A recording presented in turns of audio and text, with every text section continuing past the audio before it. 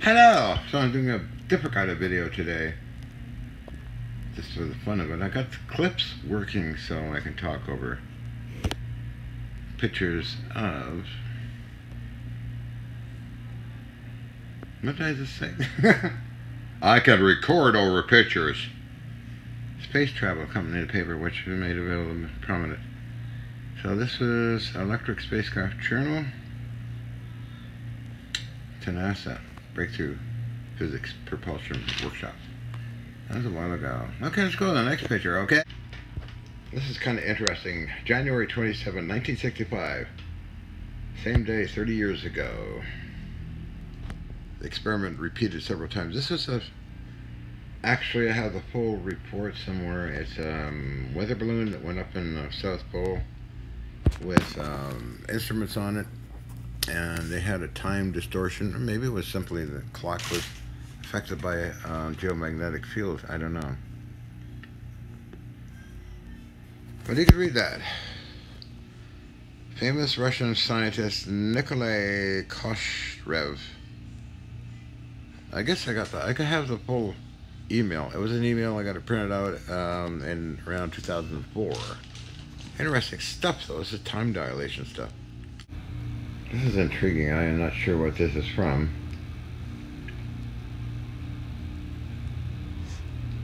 Boeing's physicist Gordon Allen unfortunately could not come for his presentation, I think. Indeed, physicist Mel Winfield demonstrated some interesting experiments in which different materials such as metal pipes, pieces of plastic, iron, and wood would were picked off the floor, levitated to approximately 50 in height, and then fell back to ground in a lateral arc. The transformation of the gravitational force in object mentioned was produced by a frequency induction from outside. It is worth noting that the coil system electric drill that was beginning to float in the manner burst into flames, apparently strong energy. I don't know, this happened in the really early 80s for Pete's sake. Oh well. Okay, we go. Uh, this is in all Japanese. This is one of the energy converters I made for the Japanese. As you tell, it's pretty big. It was about, know, 40 pounds, I think. Same one Richard Brewer and I made and took it to the Canadian government. He suggested I take it to the military, but Richard had to return to the United Kingdom. Now this is, I believe, a coin that was embedded in aluminium, but with an unusual hole through it. and a dark area going off. I don't, I recall this vaguely. It's actually, it, it's what?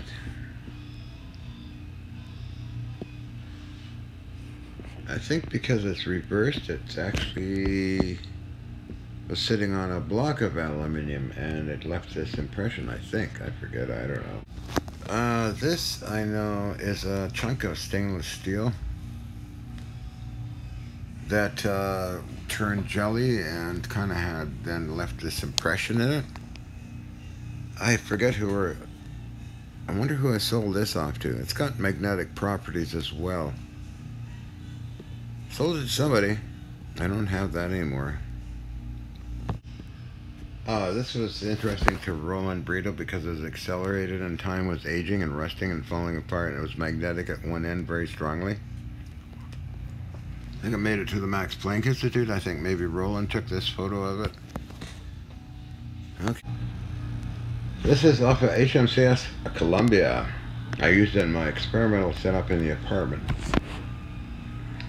It's a receiver and transmitter system. Very old but early 50s. Ah, this is uh, some of the gear I had from um, not Columbia, but Saskatchewan or Yukon. that is actually a transceiver system, countermeasures, electronic countermeasure system. Plus, on the other side is a vintage British style transceiver system.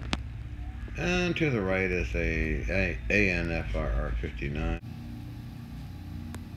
Oh, this is what Roland Brito took back to Germany, took as a Max Planck Institute, who filmed it and analyzed it and tested it.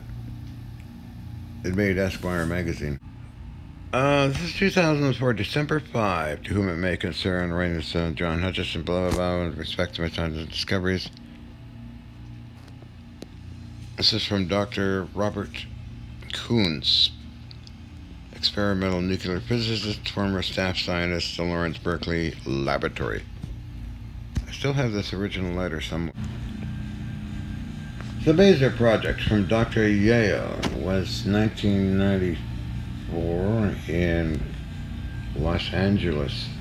The boson coherent type device. I don't know if it's in existence or not, but Dr. Shou S H O U, sorry, I I N Low. Okay, this is what was it, three inch or two, either three inch or two and a half inch.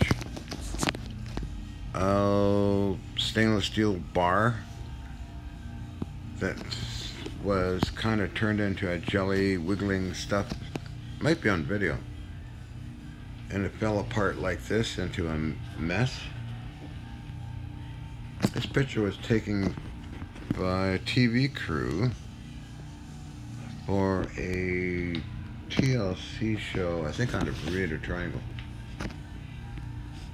I don't know where these are now, but uh, maybe Paul Mueller, I don't know. Aha, these are big samples, by the way, that turn to jelly and disrupted way back in 19... I remember it because it's kind of disturbing looking at it. Uh, what was it, 89, 1989? That's a long time ago. In the big old black and white videos of that lab. I was under dispute with uh, other partners. BC Supreme Court um, argued in my favor. Long story. I think these are sold to Enrico somewhere. Okay, this is a Star Trek pop prop. I have still. Remember Data carrying around a box with this on it? Oh, this is off HMCS Yukon. It's a navigational device.